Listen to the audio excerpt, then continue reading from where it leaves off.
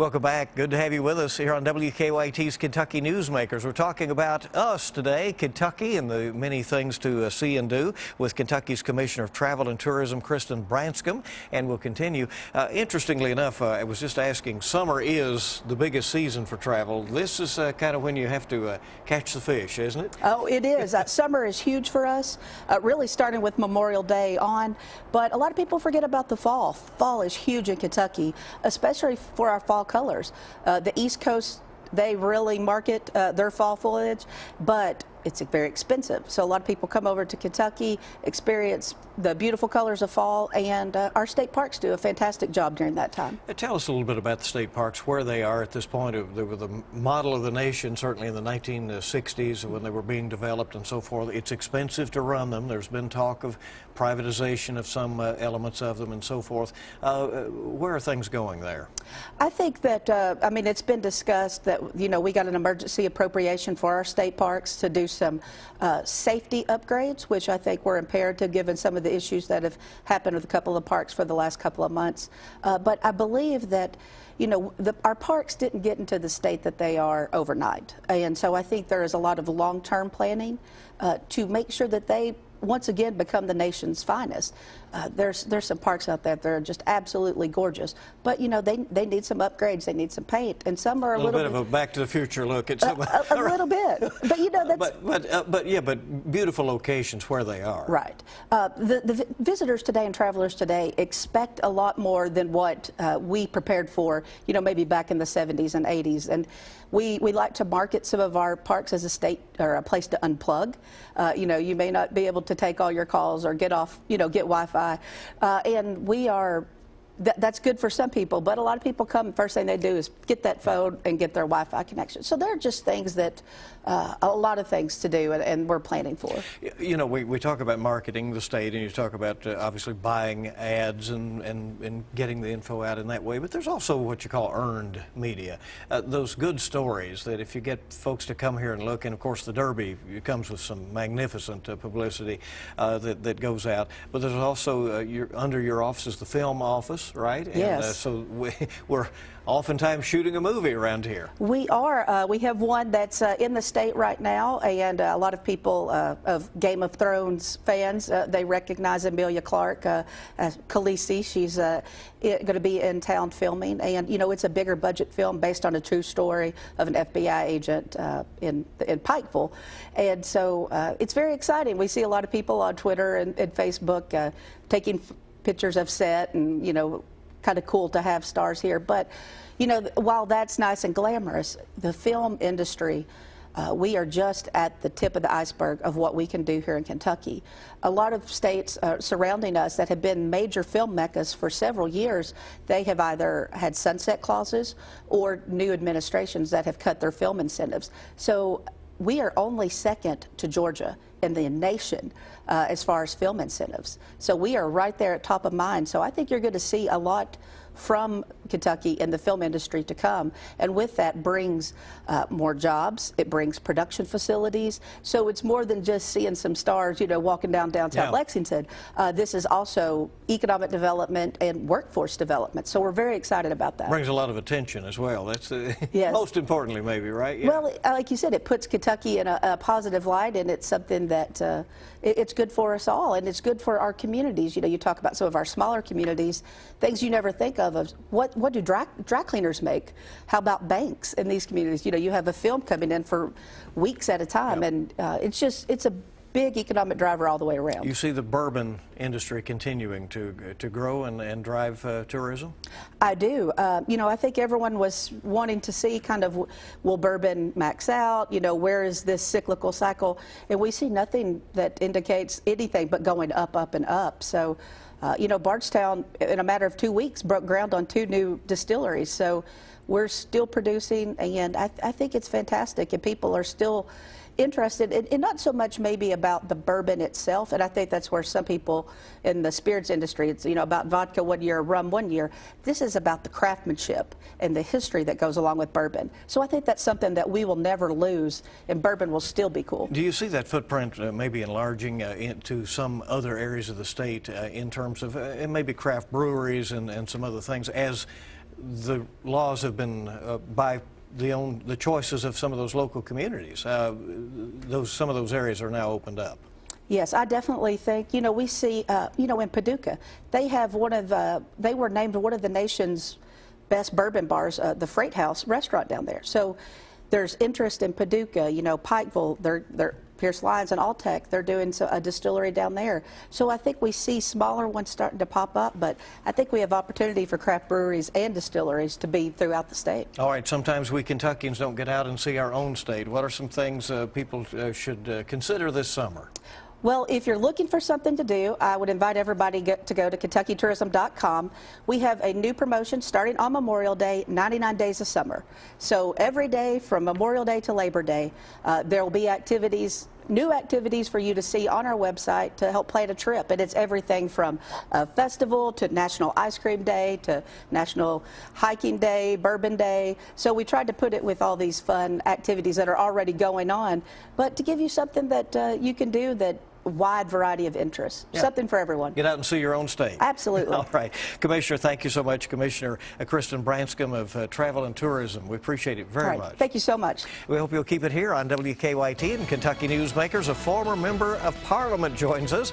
Uh, give us his take as he visits Kentucky in just a moment.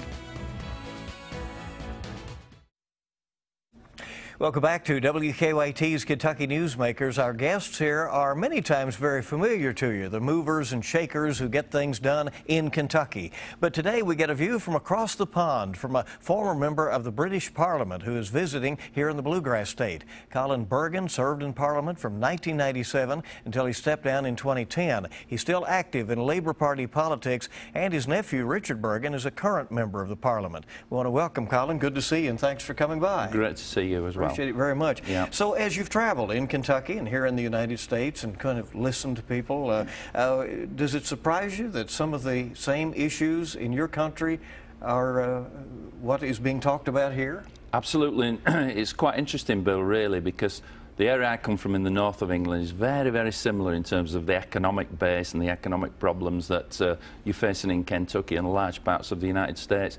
So it is uncanny. It's, it's, uncanny the kind of concerns that people in Kentucky and other states in the United States have got, and the people, you know, in the north of England that I come from as well. You uh, have been involved in trying to uh, uh, reinvent the economy in your area there, yeah. where some of the old industrial jobs are gone. Here in Kentucky, uh, we have the loss of the coal jobs and so mm. forth. That uh, isn't the other kind of similarity you're hearing. Well, a few weeks ago, um, the actual last deep mine coal operation in England closed. So Britain, which had hundreds and hundreds of coal mines, that even within the last 10, 15, 20 years, has now ceased the production of coal and how you transition from that kind of economy, which gave reasonably well-paid jobs, you know, reasonably secure, how you transition from that is a real big problem that's facing regions like mine and certainly facing regions in the United States as well. Any novel ideas from uh, across the pond? Well, if I had them, I'd keep them to myself because it'd be worth billions of dollars.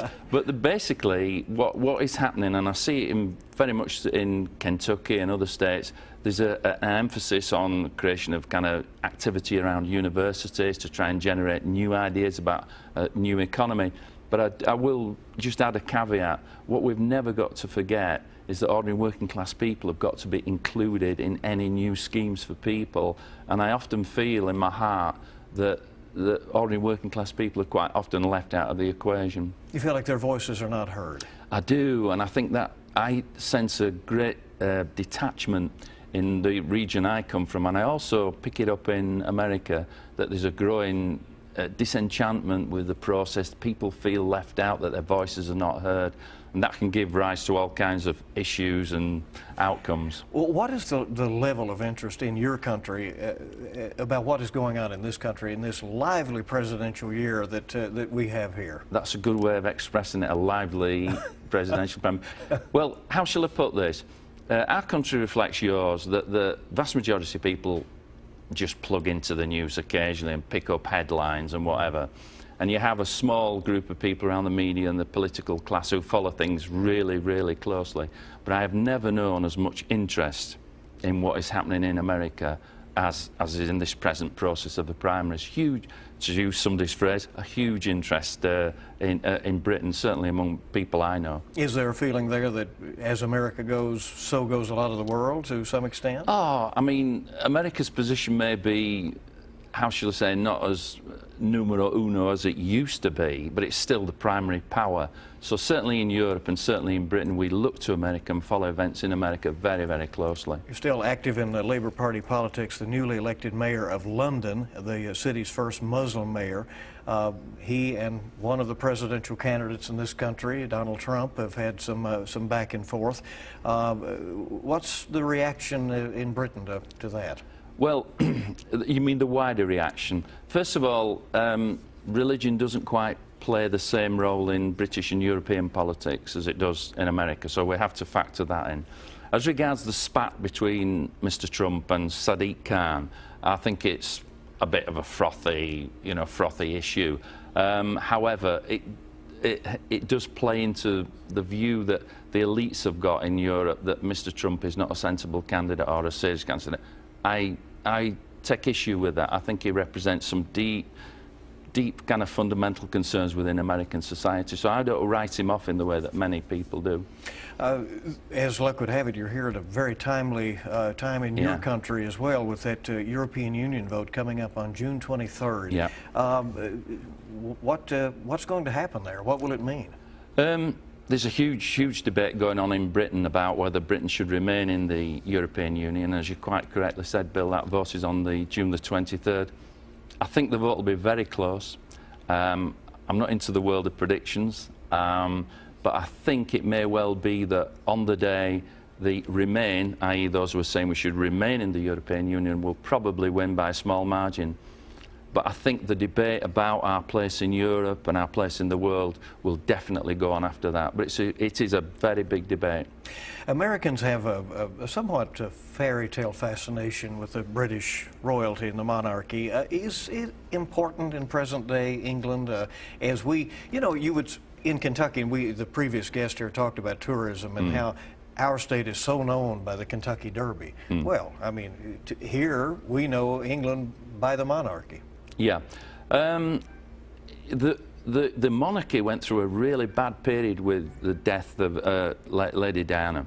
And if you looked at the polling, the popularity of the monarchy dipped really tremendously.